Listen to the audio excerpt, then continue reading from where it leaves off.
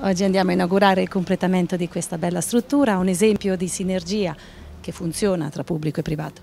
Sì, la Stella Maris di San Benedetto un anno fa era in crisi totale, una crisi aziendale, il rischio di perdere posti di lavoro, ma soprattutto il rischio di perdere un servizio molto importante per la comunità marchigiana di San Benedetto. Oggi ci troviamo a una rivitalizzazione di questi spazi, una riqualificazione, un eh, servizio che non solo riparte, ma riparte con una qualità ancora più alta di come eh, ci aveva lasciato un anno fa. Quindi una giornata importante perché si rafforza l'offerta di quel servizio dato dal privato ma in convenzione, quindi per il cittadino come se fosse pubblico,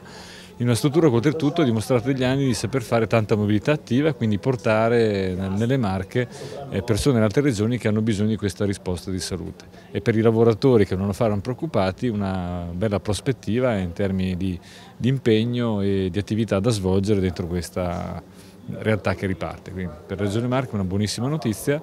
e speriamo insomma, che questo modello possa in maniera integrata continuare a offrire eh, tutti i vantaggi che il privato sa dare in uh, sinergia con quello che il pubblico offre.